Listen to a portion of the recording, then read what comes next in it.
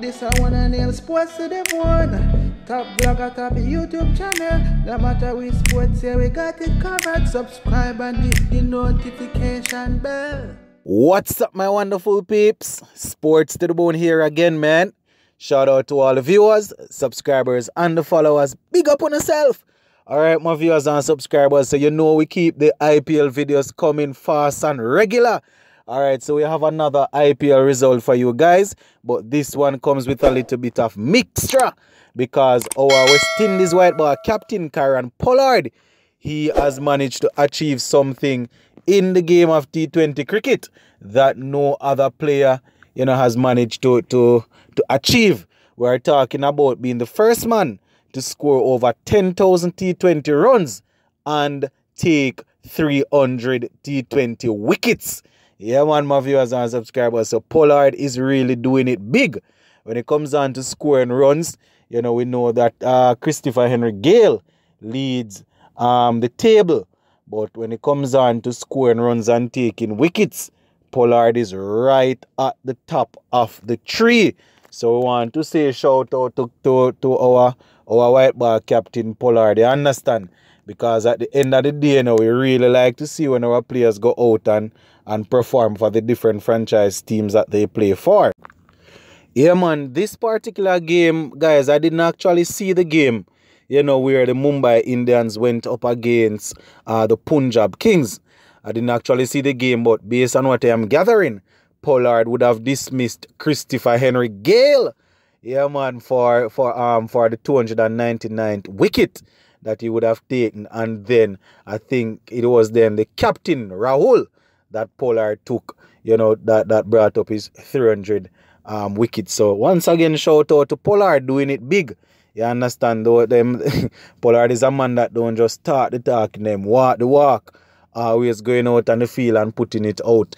You know, and very rarely you, you find Pollard having a, a, a bad a bad um patch. You know, every now and again he might fail in a couple of games, but you know, you can look that you can look for him to really come big in in the another in the next game. So, you know, shout out to Pollard. Alright, so I'm just gonna give you a quick recap of how the game went down. So Punjab, they actually took strike first. And I must say, my viewers and subscribers, things didn't go as planned for them at all. You know, they ended up making a total of 135 for six of their 20 overs. So a lot of wickets, they they they, are, they had a lot of, they had a couple of wickets leave. You understand? But they were just able to put together 135 for six. And um, our West Indies um, batsmen and that team, they didn't really turn up at all. You understand? Because we had um we had the lights of Christopher Henry Gayle and he came in at number three once again. You know, but Pollard, as I indicated earlier, had him removed for one. Yeah, man. So Gayle he faced four deliveries but he wasn't able to outfox Pollard at all, and Pollard had him caught. You understand? Yeah, man. So so Gayle went for one. Another failed innings by by Gayle. Uh, Nicholas Pooran, he also didn't manage to contribute much. He went for two, and he faced only three deliveries. So you understand those two uh, West Indies batsmen in on that team. They didn't they didn't um shine today at um yesterday at all. So Pola um Pooran going for two and Gayle getting only one. Uh, Captain Rahul, he he managed to get 21 off 22 before, as I said, Pollard would have removed him to bring up his 300 wickets. So yeah, man, that that is it as regards to to those guys. Now, um, the top scorer uh, Markram, he, he actually top scored with 42 of 29 deliveries. Yeah, man, he had a couple of um couple of fours. He had six fours in that innings. Didn't didn't hit any six, but you know, 42 of 29 deliveries, really, really good. So he, is actually the man that led the way for them. So shout out to him. Now, where the bowling is concerned, uh the wickets, uh Bumrah Bumrah was able to pick up two wickets off um, off his four overs. Only gave away 24 runs. So very, very good bowling by Bumrah. Very good bowling. And our main man, Kieron Pollard, as I said, guys, you know, he would have picked up two wickets you know, he only bowled one over, so he got two wickets um, for eight runs off that one over to help them um, on the way. So Bumrah getting two for 24 off four overs, and Pollard getting two um, for, for eight runs of one over. And as I was uh, as I would have indicated, I talk foolishness. Um, Pollard was able to pick up two of the, the, the guys that were expected to make some run in the form of um, Christopher Henry Gayle and Rahul. Now, chasing down the runs, the Mumbai Indians, uh, once again, Rohit Sharma and Quinton de Kock, they opened the innings. It, wasn't a solid start at all because they lost their first wicket um, at 16 when they were, you know, at 16 runs. Rohit Sharma went, you understand, 16 for 1. It soon became 16 for 2 when Yadav was removed you know, because he came in and he didn't score anything at all. You know, Quinton he got 27. Uh, Tiwari, he got 45. Pandya, he got um 40 of 30 deliveries not out.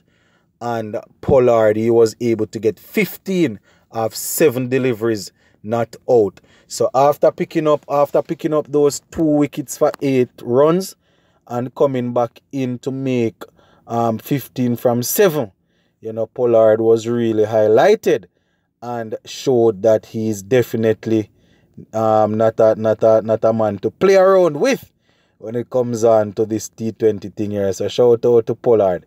You understand? Bowling bowling for the for the for the Punjab team. We had um we had um Markram. He he bowled he bowled three overs for 18 runs. Didn't pick up any wicket though. Um Shami uh, he, he had he had um one wicket, you know, but he leaked runs. He went for 42 of his four overs. You understand? I think Bishwani he got um two for 25 of four overs. You understand? And Ellis got one for 12 of his three overs. So that is basically how things went on um in regards to that match.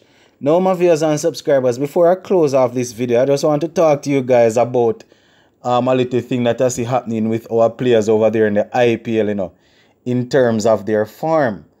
I, I, I don't really like what's happening at all, you know. I don't like what's happening.